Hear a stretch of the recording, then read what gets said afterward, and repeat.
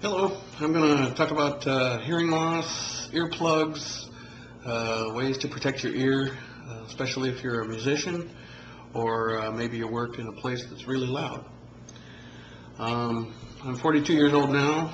I uh, have loved music uh, since my teenage years, of course, or, and as uh, as I got older, I started noticing uh, you know problems with my left ear.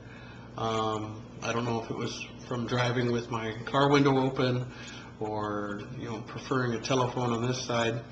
Um, but as I got older, it, it got worse. Um, when I was uh, 33, I uh, decided to start playing bass guitar for my church and with friends. And, um, you know, being a guy, I, I had to have the, the best and, you know, the loudest and, well, not the loudest, but loud. And um, so I started having problems again, and I decided to look into uh, earplugs.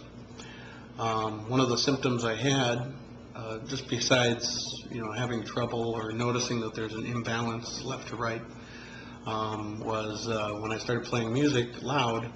I'd be laying in bed and it's quiet, and I'll hear thumpity thump thump thump thumpity thump thump. You know, it was like a muscle spasm or something.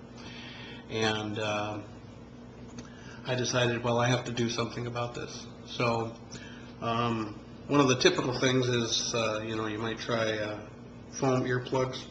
Um, you know, you, you roll them, you roll them up, and then they expand. You stick them in your ear, and uh, a lot of musicians don't like this because these are not the best for uh, enjoying music. Um, I moved on to, uh, and I mean, these are cheap. You can get them for probably 50 cents at a music store or maybe a hardware store or something, um, or you buy a big box. you could use them a couple times. Um, I, I'd recommend maybe only five times because then they, they stay squished and they don't seal up very well. Um, the next one is uh, these. I, uh, some people call them hi-fi earplugs. Um, I'm going to have a link to a company that I like to buy these from. Um, but Hearos, I think, has a, uh, a brand or a, a model similar to this. You look for the, the triple rubber uh, arrow shape at the front and then the hard plastic uh, handle on the back. That helps get the higher frequencies into your ear through the through the little hole in the front of the uh, earplug. But uh, you can get these for about 10 or 15 bucks at a music store. Um, that's a very reusable and very, uh, an improvement over the, over the foam earplugs. You'll, you'll get more high frequencies out of these. Um, eventually I got tired of using these because the rubber is a little irritating, um, a little itchy.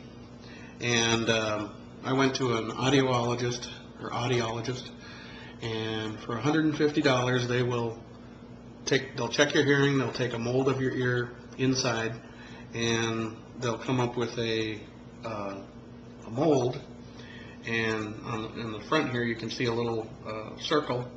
It's a little removable diaphragm that, uh, changes the, how much noise comes through the earplug. And then you just stick them in, and they're not quite as, uh, goofy looking, I think, as, you know, having this sticking out of your ear. That's why I got the clear plastic ones. You can get colored ones and stuff, it's kind of annoying. And then, of course, this is obvious. But anyway, I mean, your hearing is very important. Um, you know, um there's there's other diseases or ailments that come from too much noise. There's one called tinnitus. Um, it's a similar to uh, what you experience after a concert without earplugs. You know, it's the, it's the ringing when there's no noise. You know, and that's your that's your, your inner ear going ah. You know, actually it's the it's the nerves. They're trembling from pain of, of too much noise. Um, also, when you when you buy the hi-fi plugs, you get a you can get a little carrying case usually. Um, with the professional earplugs, you get these or something fancy. Um,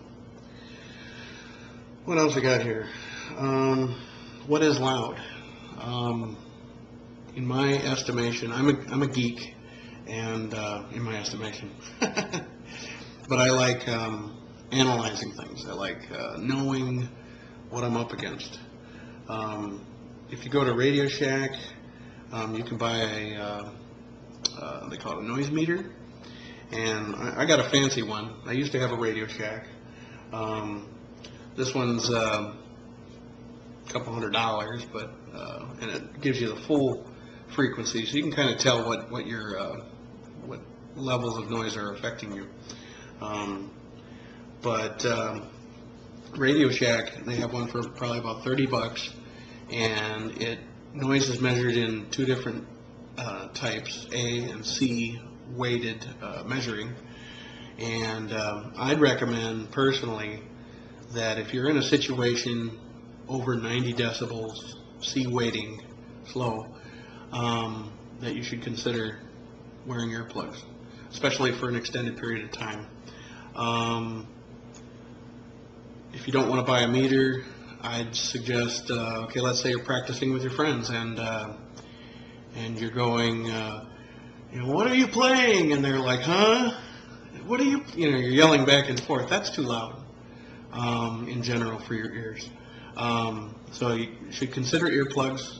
And even though you might think an earplug is going to, uh, uh, decrease your ability to hear, it's actually kind of uh, not true.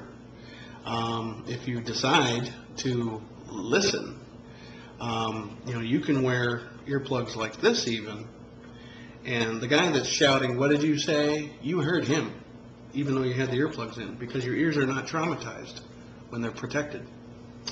So, um, what else? Singers. Um, if you're a singer, that's a that's a that's a troubling situation to be in. Um, uh, you might consider in-ear monitors, which are like uh, you can get them that look kind of like this, but they have a speaker in them, like a headphone, and it'll protect your ear. But you also have to be careful on the uh, how much volume you give yourself. You know, don't overdo it. Um, if you if you want your ears to last. if you're a drummer, uh, definitely, definitely, definitely uh, wear some earplugs or an in-ear monitor. Um, I don't think there's any good reason why a drummer should not wear earplugs. Period. Um, so I guess that's about it. I hope that was helpful. Um, I'm going to put some links on the side and, uh, you know, help you understand noise levels, uh, place, kinds of earplugs to get, and uh, diseases or problems you can have, even as a younger person. Um, It may not hurt, you know, when you're doing 120 decibels, which is way too loud. Um, I usually play about 100 decibels in some of the bands I've played with, but that's still pretty loud. And uh, hope that helped. Have a good day.